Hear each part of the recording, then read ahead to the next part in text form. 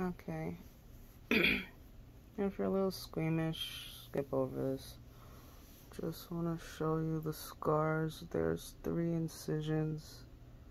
That's the first one. They made one by the belly button. You might not able be able to see it.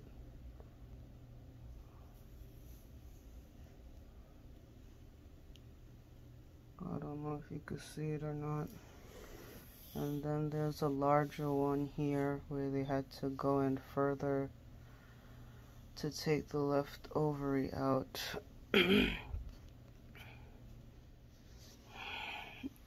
one is bleeding a little bit, so I have gauze over it, but I did take a semi-blurry picture of it. Because, um, can't bend over to see them, so I'm like, let me use the camera.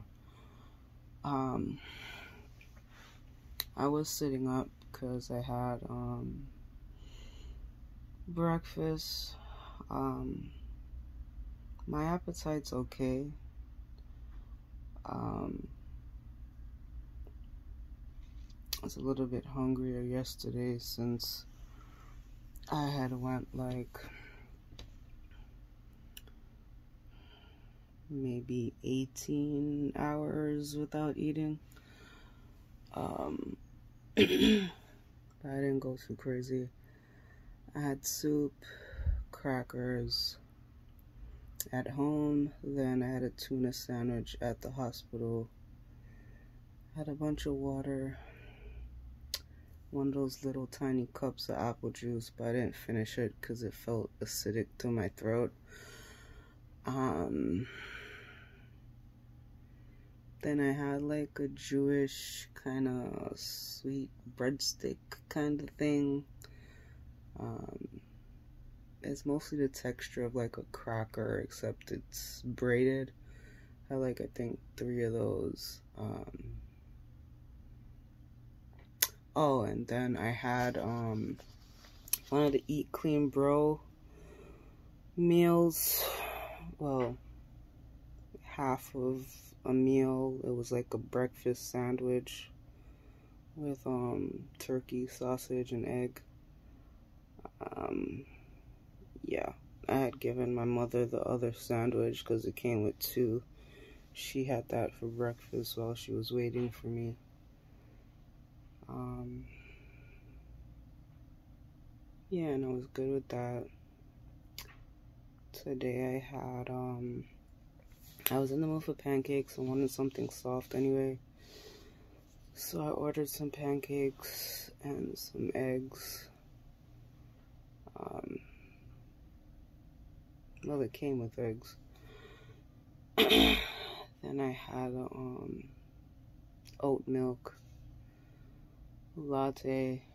Um, and that's it so far. I think the only other thing I'm going to eat is some fruit and then another eat clean bro meal. I'm gonna have the simpler one. I have one that has cauliflower and ground turkey. So I'm gonna have that. But I'm gonna wait till my mother comes later on in the afternoon. Um, so that she could bend in the back to get them to get it because I put her meals in the front for work. Um, oh, and I could probably have a yogurt because I have about three yogurts I need to eat. Um, I had originally bought them for smoothies, but unless somebody is home, I can't really make a smoothie because I'd need to lift the blender because it's up high. Um, so yeah, that's my food plan for today. Yogurt, fruit, and then cauliflower rice with ground turkey. That should be enough to eat today. Um, then I have crackers by my bed in case. Thankfully, I don't feel any nausea because I hate when that happens. Um, But yeah, I'm just really weak. I'm gonna use this time to catch up on YouTube videos and read. Then at night, listen to music. More so like sleep hypnosis kind of music. And just relax for the next two weeks. Um, which is hard for me.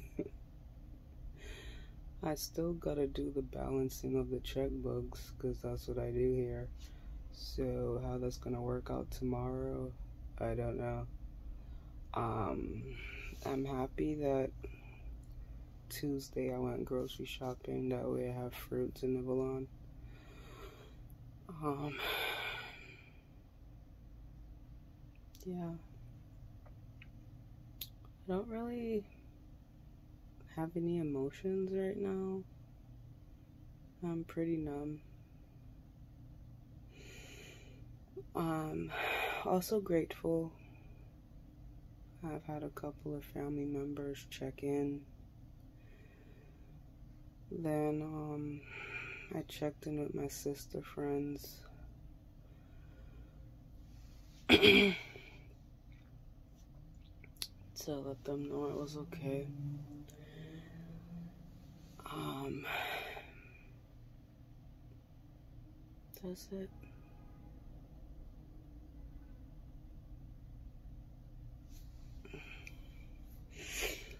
I mean, I wish I had company, but what can you do? But not my mother. Like, she sends my anxiety through the roof. Like, she literally sit there and just stare at me like something's about to happen. She was driving the people in the hospital crazy because she must have tried calling them multiple times and. oh, laughing hurts. and then her phone wasn't working because she has one of those flip phones, so even though it's 5G, it wasn't getting reception. So she was going out her mind. Um, yeah. But yeah, shout out to my aunt who took me there and back. And my cousin who checked in with everybody else to make sure I was good when she wasn't able to get me. so yeah, I'm grateful. Um, the hospital messed up once again. They tried to or didn't. I don't know what the hell they did. They were supposed to send my pain meds to the pharmacy. And um, the pharmacy says they didn't get any meds yesterday. So I had to call the only contact I have, um, I think, which is a nurse in the gynecological division. So she's gonna email my operating doctor because I guess she's on call or whatever the case may be. I don't know. Something is thoroughly wrong with that damn place. I can't even begin to tell you how many doctors and nurses I saw yesterday. no wonder they can't keep track of anything. And I mean, I know they have like a care team because, you know, to make sure there's all hands on deck. That wasn't the part that, well, it bothered me because I wasn't going to remember all their names, so that bothered me personally. Um, but what was annoying and like I feel like part of me disassociated yesterday because that's the only way I was going to keep my anxiety level down. But yeah, just being asked the same questions over and over again. It's like I see you inputting it into some database in the computer. Like, can it be referenced back? Like, are you trying to catch me saying something that I didn't say before. I, I, I don't know how that works. But okay. Here's the same answer I gave another nurse 10 minutes ago. Um, but yeah, um, what was I gonna say? Some nurses were kinder than others. I have, where is it? I didn't get to clean off the marks yet, but one of the nurses basically ripped off the EKG thing without even being gentle. So, I don't know if that's residue or actual bruise. I'll try to shower tomorrow. Um, but yeah, if you look at my TikTok, that's the same person that I referenced in regards to the wheelchair. Um, and when it was time to try to urinate in a pan or whatever, they didn't really take any real care when she gave me the pad. Like, well, here's the pad. Um, lady, how am I supposed to reach down there? But I figured it out. Um, I think through all that, one of my stitches might be a little open. That might be why it's bleeding. I'm not sure. It doesn't feel off. It's just bleeding. Um, a little bit, not like profusely. Um, but yes, some were way better than others. I also mentioned it at TikTok, the two that stood out to me. Anyway, the actual process, um, aside from that long ass paperwork. So let's see, I got there about 10. Appointment was at 10:30. I didn't go into the operating section probably till about 12, I think um, when I was actually in the surgery room. I'm not sure. Um, so first they send you to the recovery section where you fill out all the paperwork, etc. Of course, you return back to the recovery section after surgery, but that's where they fill out the paperwork. Um, and then I guess since I'm fat, I got out of the bed. They told me since I could walk, I could get on the surgery table myself.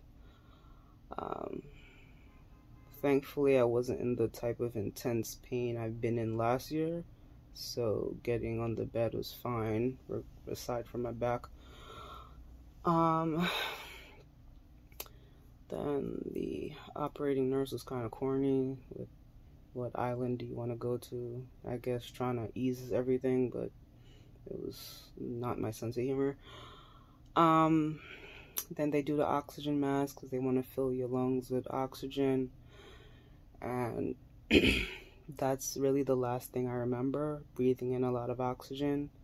Then I guess after that, they um, put the general anesthesia I don't know where that goes. I don't know if it goes in the IV or if it goes through the mask. I'm not sure.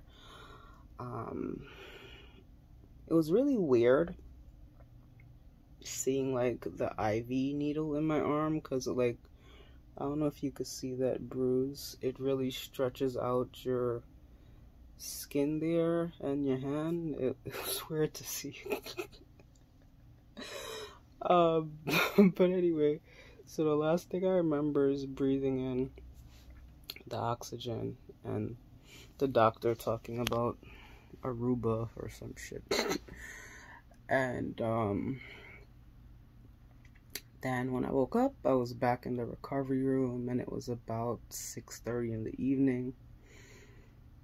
Um, I just like slowly opened my eyes and was up and then they told me where I was. Um, yeah, so anything that happened in the room could have been whatever. Don't know what happened. But, um, yeah, once, um, I was up, they told me that the cyst basically engulfed most of the left ovary so she said there was about maybe this much that it didn't like overtake.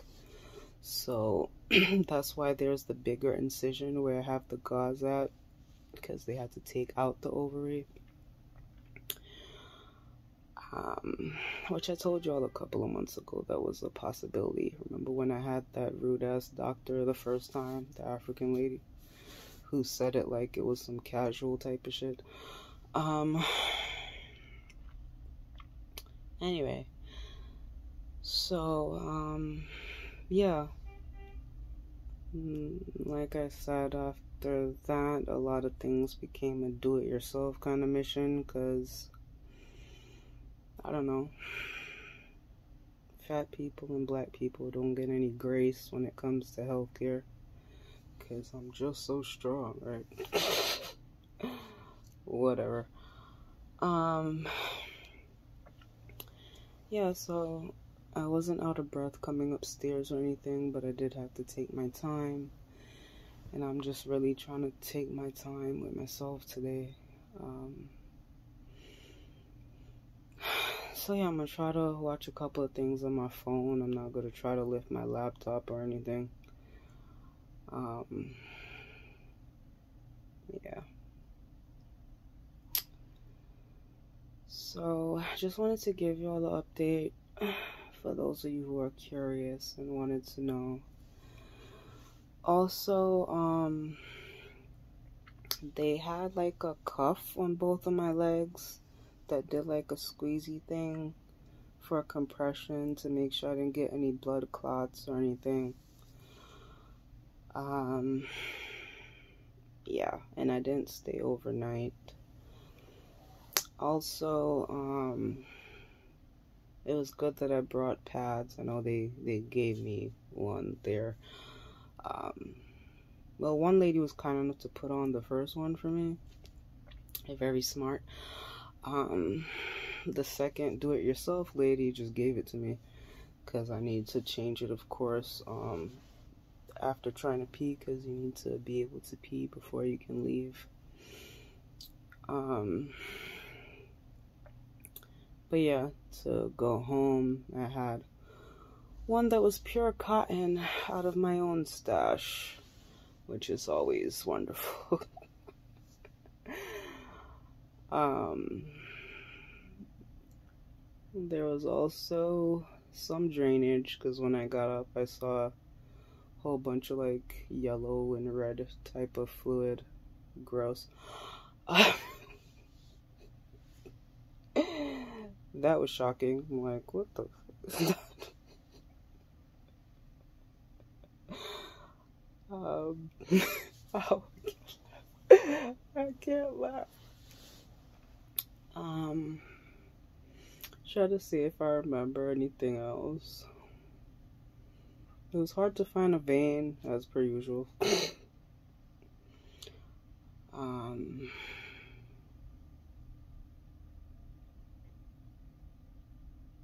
mm, yeah, I think that's it. If I remember anything else, I can update you all another day. But I think that was my whole experience.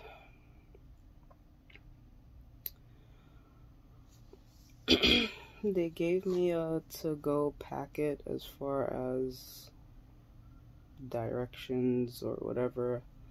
Um, funny enough, half of that packet, when I was looking it over, looks like stuff they were supposed to give me before I even had surgery. Um because it's talking about like prep work and things like you should make sure you do before you know you've undergone your procedure um like you know prepping the house and making sure this is available I'm like I knew something was freaking missing as far as information. Luckily, as you saw um, from two grocery hauls, one from I think a month and a half back, where I got all my fluids. I still have most of those. One of the packs of coconut water I did end up drinking off already because it was expiring. Um, so I still have the other one. Then in the grocery haul I showed you a couple of days ago, you saw I got protein shakes and I always drink water, so I have water. Um, and I forgot to show you all the Eat Clean Bro meals. But, um, yeah, I ordered from a healthy meal prep service. So I have maybe four or five dinners. Um, because when we were doing the budgeting yesterday, I did spend way too much with Grubhub. Um, especially dinner food. Breakfast food's kind of more affordable, but dinner food, especially if you're getting like on the healthier side, or you want to add a side of veg and you know get a nice drink or whatever, that that comes up to too much money.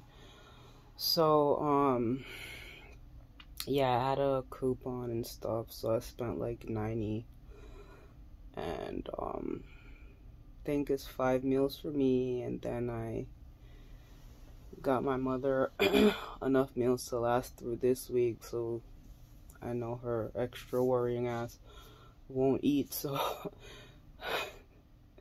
sorry I can't laugh. Um she'll have lunch to take with her. She can eat it when she comes back home her choice, but I got her some stuff I'm pretty sure she'd like. Um, yeah, I'm gonna stick to fruit as a snack this week.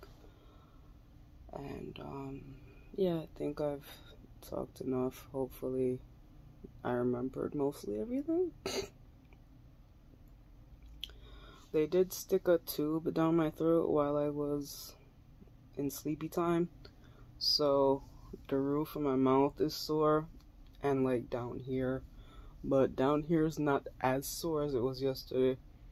So that's why I'm able to talk to y'all. But I could feel a lot of soreness in the roof of my mouth.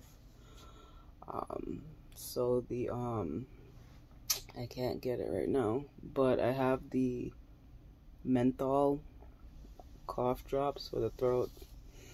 Um, I think I showed you all a type of it when I did like the surgery prep. So those have come in handy. I took two of those last night. Um, for now, I'm taking Tylenol, and I did take one of the Gas X um, a couple of hours ago. They said don't exceed four of them a day, so probably around three or so, I'll take another one. Just to reduce the discomfort. okay, thanks for watching. See y'all later.